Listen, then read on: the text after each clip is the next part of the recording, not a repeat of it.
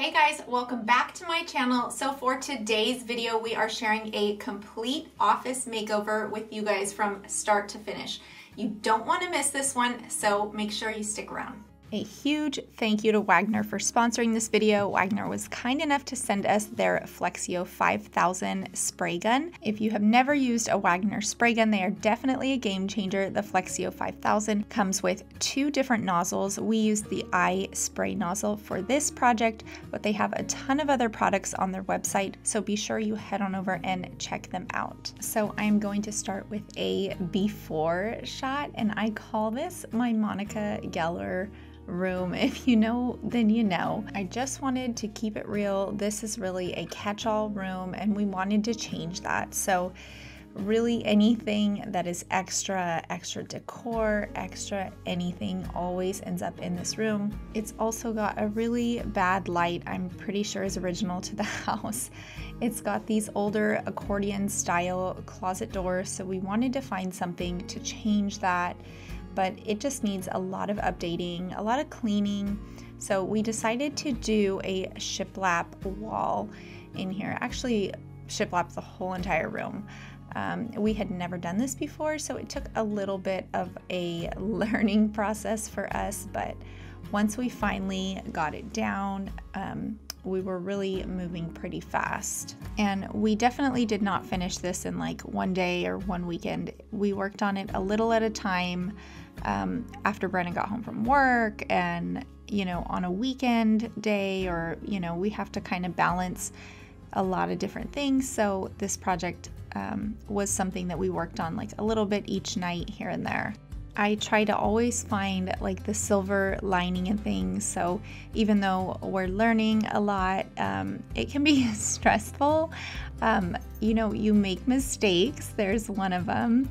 But I love the process of learning because there's always some sort of silver lining. We can work as a team, we brainstorm together. It is stressful, don't get me wrong, but there's always something positive to take away.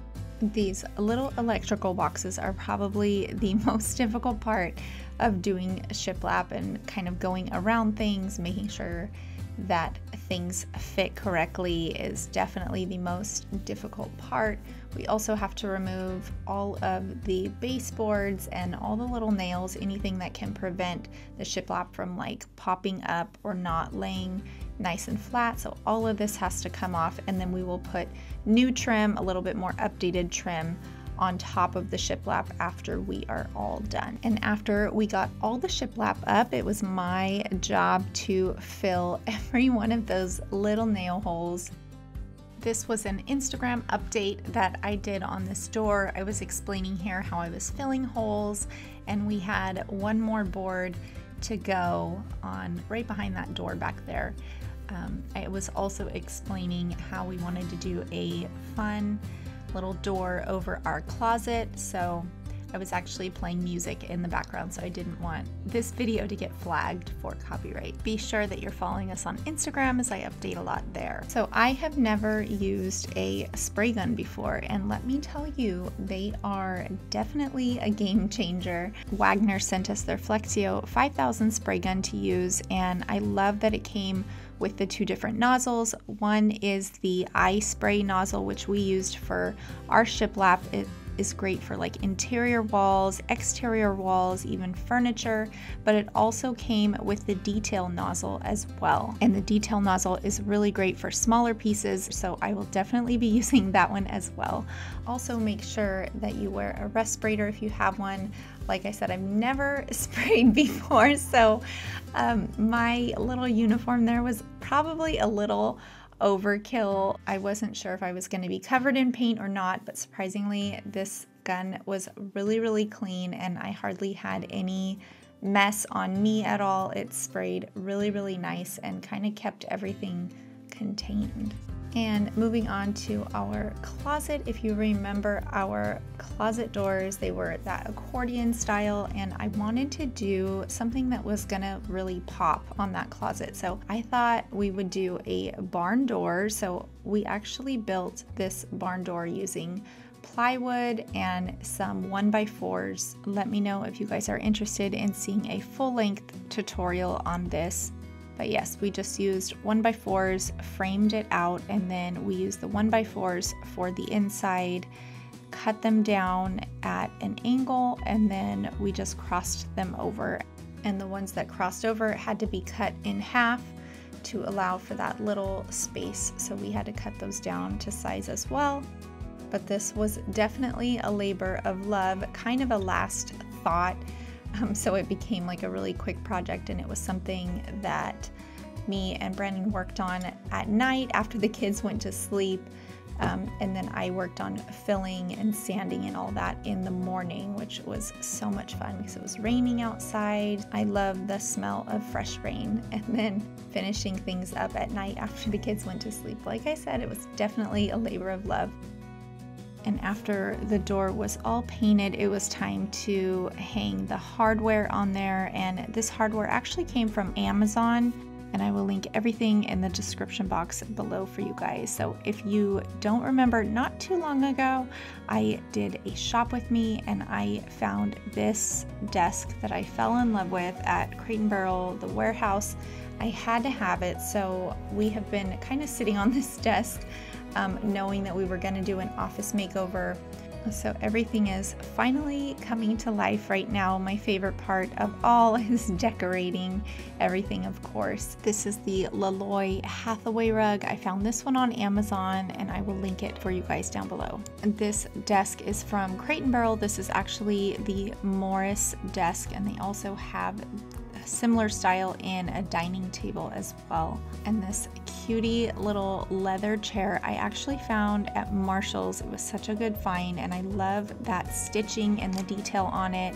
I could not pass that up. And the barn door is up and working and it looks so good. This is definitely one of my favorite parts of this entire room. It turned out so pretty. The color is called Cheating Heart by Benjamin Moore and it just turned out so good. I'm really happy with it. There are still a few things that we want to do like trim and baseboards, but we didn't get around to that this weekend, so hopefully it will be another future project. But in the meantime, we will hang some curtains and I always love steaming my curtains and making them nice and straight and crisp.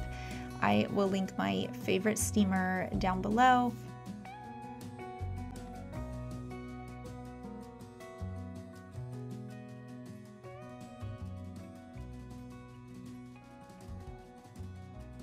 If you guys haven't caught one of my latest DIY projects, it was the string art that was a Leanne Ford dupe. I love how this piece turned out and I couldn't wait to hang it in the office. I felt like it was the perfect size and the perfect place, that wall right behind our desk. So I was really excited to get this thing hung.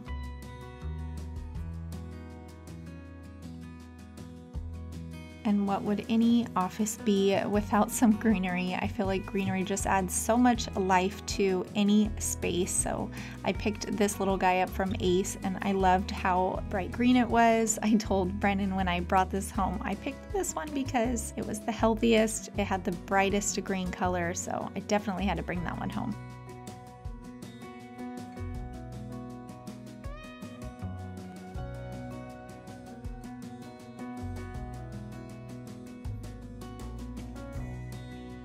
So, if you guys remember where this room started, it was a mess. There was really nothing going on other than a mess in this room.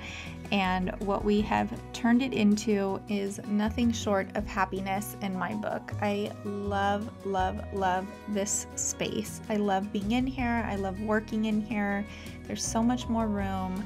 We hope to keep it organized. The barn door really does add a little bit more space to our closet, surprisingly, but I just love that kind of statement on the wall.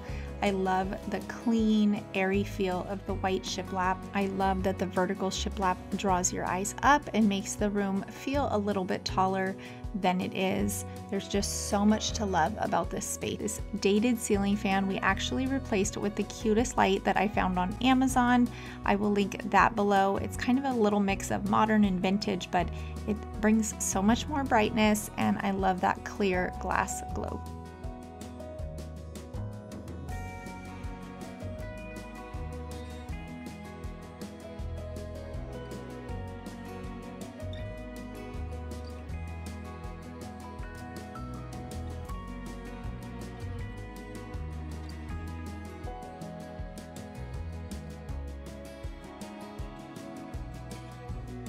I hope you guys enjoyed this makeover as much as we did. We learned so much and we can't wait for the next one. So give us a big thumbs up if you enjoyed this video. Don't forget to hit subscribe. Always leave us comments. We love hearing from you guys. Let us know what your favorite thing in this room is and we'll catch you guys next time. Thank you so much for watching.